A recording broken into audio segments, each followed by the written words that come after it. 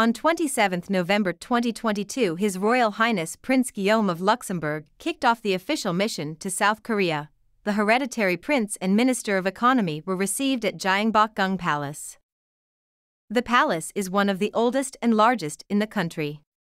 It is also among Korea's landmarks and part of UNESCO World Heritage Site since 1997. The hereditary Grand Duke is leading a large business delegation from space and ICT sectors in Luxembourg, accompanied by the Minister of Economy Franz Fayot together with other representatives.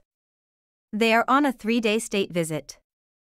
The mission celebrates the 60th anniversary of diplomatic relations between South Korea and Luxembourg. The state visit aims at strengthening the political, economic cooperations and relationship, especially on development of space and digitalization. The mission begun with a welcome reception and meeting with delegates from both countries together with 34 business companies from various sectors.